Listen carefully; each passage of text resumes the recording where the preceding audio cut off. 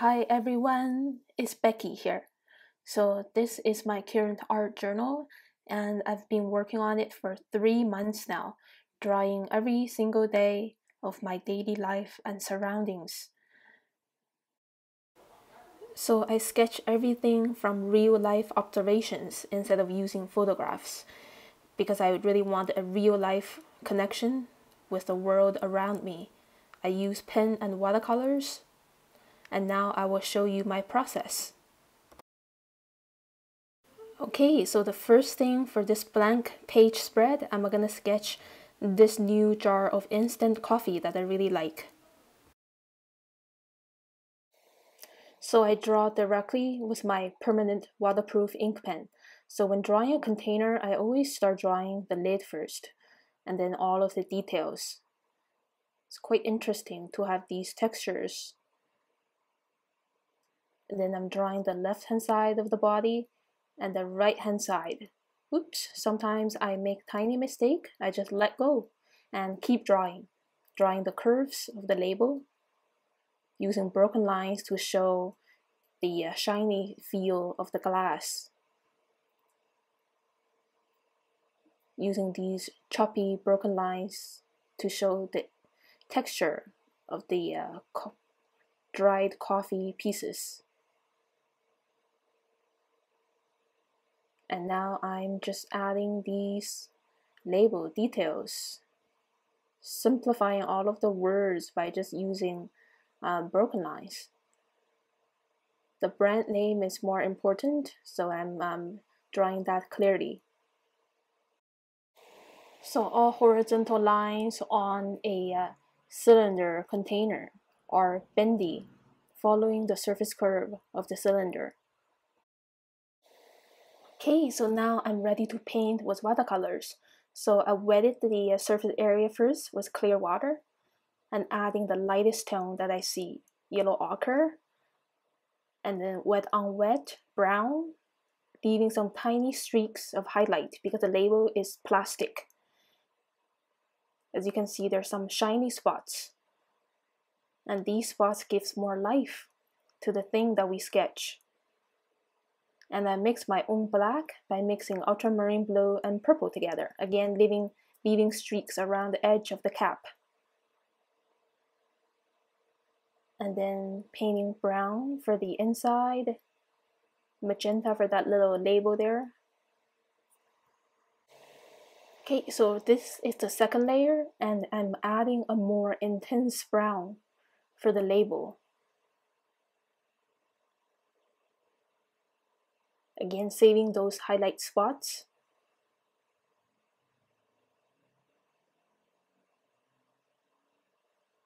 And then adding a tiny bit of turquoise blue for the edges of the uh, jar because it's glass a lot of glass shine with a turquoise tone. Another darker brown tone for the uh, coffee pieces inside. And I'm using dotting brushstrokes. Now there's more depths because there are two layers to show the uh, three dimension layers of the coffee pieces. Okay, so now I'm painting the second layer for the cap, a more intense blue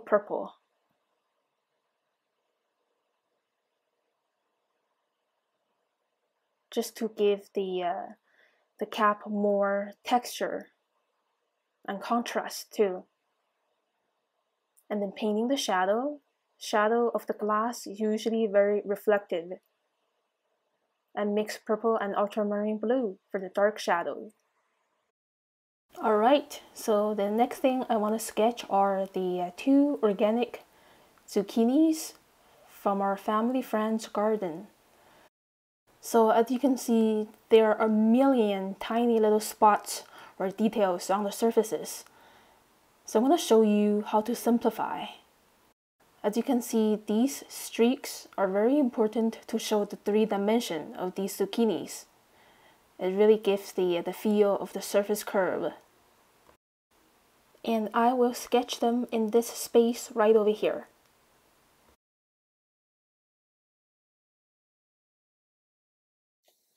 So I'm starting to draw the smaller zucchini in the front, not being covered by the one on the back. And just take a deep breath, relax, and just focus on the outline.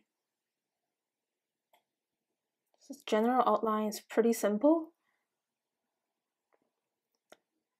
And now I'm ready to draw the general outline of the larger one on the back.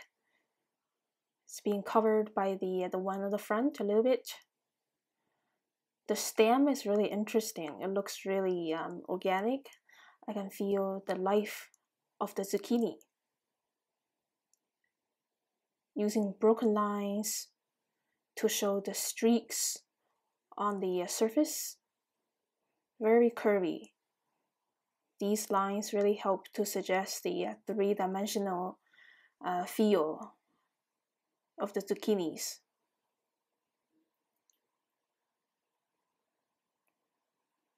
And now just relax and drawing these large and small spots.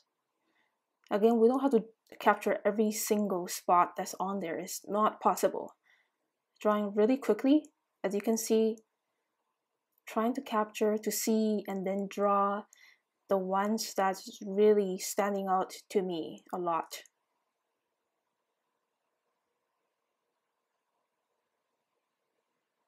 Using a lot of teeny tiny dots to show my impression of what I see instead of trying to copy what's on there. Same as this smaller one, a lot of broken lines, short and long broken lines. These large and small, irregular little circles, and teeny tiny dots. Okay, now I'm ready to paint with watercolors. So I wetted the areas first with clear water, as always. First layer is always the lightest tone. This kind of uh, a mix of light green and medium yellow and a little bit of yellow ochre. Every single zucchini has um, a unique tone, different kind of yellow green. And after the first layer is dried up a bit, I'm ready to paint on the second layer. Kind of wet on dry. Viridian green mixing with a little bit of a yellow ochre, depending on the uh, color that you see. The yellow green might be different for each little zucchini. I'm painting very loosely, not worrying about really painting around those tiny light spots because it's really it's not that possible. The more loose that we paint i think the more lively our sketches are. And don't worry about creating smooth surfaces and just try to be expressive using brushstrokes and don't try to um, smoothen them out. Brushstrokes are really helpful to bring our sketches more alive so now this is another deeper layer for the stamps. And as you can see, I'm leaving tiny streaks from the previous layer. So these stamps look more 3D instead of flat. Okay, so now I'm adding this darker tone of green for these darker stripes on the surface. Mixing in a little bit more water for less stronger, smaller stripes. So there's um, a variety of gradients happening on the surface. These are less strong. It's trying to create like a smooth transition.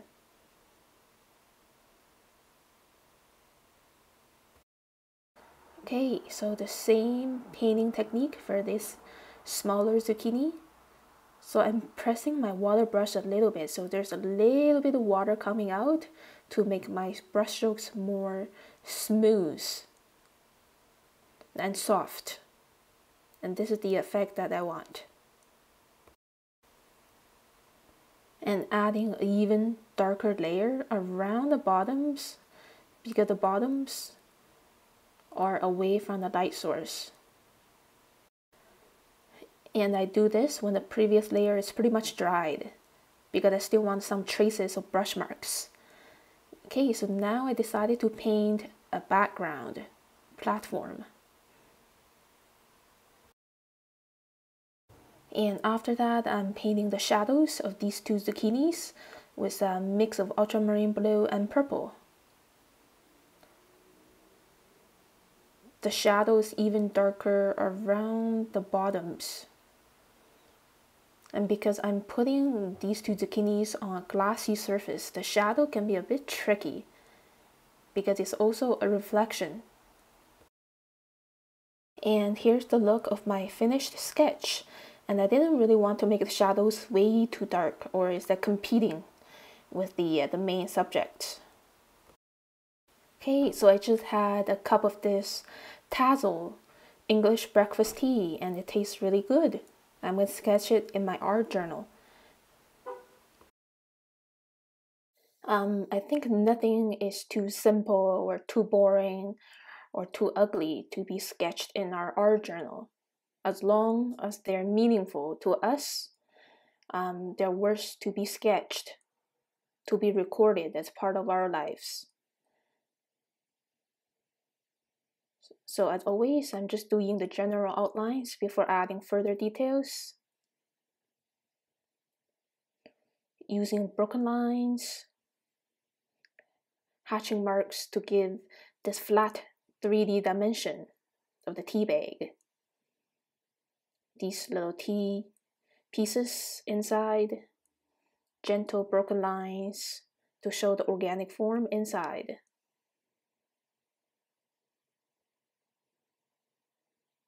These details are kind of similar to the uh, surface of the zucchini. So there's a kind of like an echoing.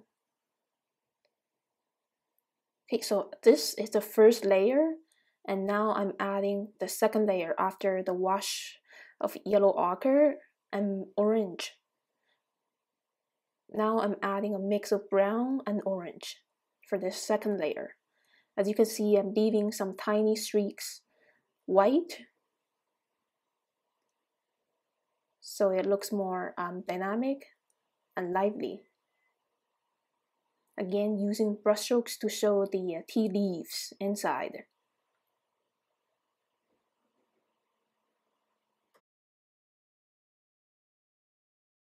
And then just adding another more intense dark brown just to give more um, depth for the layers of uh, chopped tea leaves inside the bag. And now I am just painting this splash of pink on the tea label. Shadow from the yarn. And finally painting the little shadows. A reflective watery brown and then mix of ultramarine blue and a little bit purple. And the yarn too. That's it. And here's the look of my art journal spread so far. Let's see what I will sketch next. So now we're having another heat wave here in Vancouver. In the early evening, I'm having a cup of um, mint tea before dinner. It's really refreshing. And I will sketch it in my art journal. And this space right here looks great for this cup of tea. So my um, teacup is kind of an unusual shape. It's the uh, irregular shape of a prism instead of a, a cylinder. So the opening is a square, a round square shape. So when drawing a cup or other uh, vessels, don't forget to draw the thickness of the rim and also the handle. Now just adding these surface decorations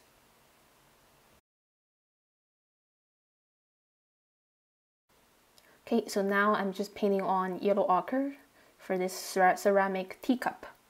This part is not as important as the part of the uh, shiny tea.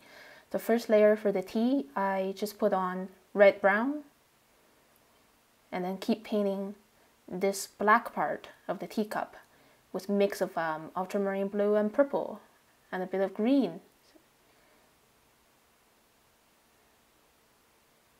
So that's my own black with more life.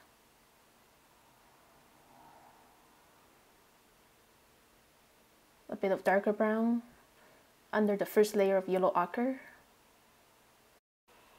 Okay, so this second layer for the tea is really important. The blending with the first layer and leaving the mid middle parts bright and the edges shiny. Okay, and I'm leaving that and not overworking on the tea and just doing some final polish for the teacup just to make it look more dynamic. And I'm painting a fresh green platform because it suggests the, uh, the flavor of mint and then quickly painting the shadow. That's it. And here is the finished look of my sketch. Alright, so the next thing I want to sketch are these peaches. So I have a page gap for this set of four peaches. So I decided to draw the two peaches on the uh, right hand side page and the other two on the left hand side page. So, so these four peaches are not really being cut off too much and yet they're still connected together. I like connecting things together between two pages in my art journal because that adds more unity. So as you can see, I'm just drawing the outlines and a little bit of uh, inner details with some broken lines.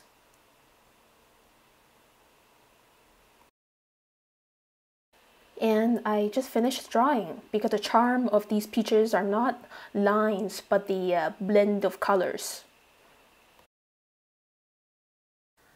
So the first layer is a mix of yellow ochre and orange, very light, mixed in with a lot of water.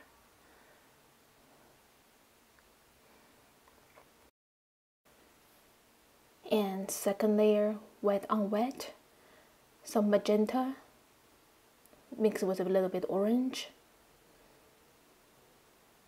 And using some thin strokes to show the streaks on the skin of the peaches. I'm actually constantly changing my shade of um, magenta orange because every peach had a different tone of uh, red orange.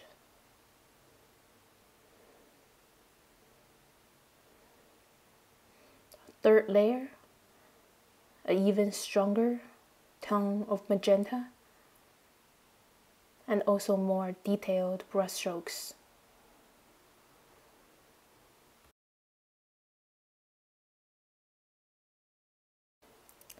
So I'm painting this layer as the previous layer is dried up a bit, so my brushstrokes are not merging with the previous layer. They're still pretty sharp and easy to control instead of um, wet on wet. This is almost wet on dry. And I'm also um, squeezing my water brush a little bit so the sharp brush strokes can blend with the previous layer a bit. Not all of these streaks look very sharp. Okay, and another layer of magenta mixing with a little bit purple.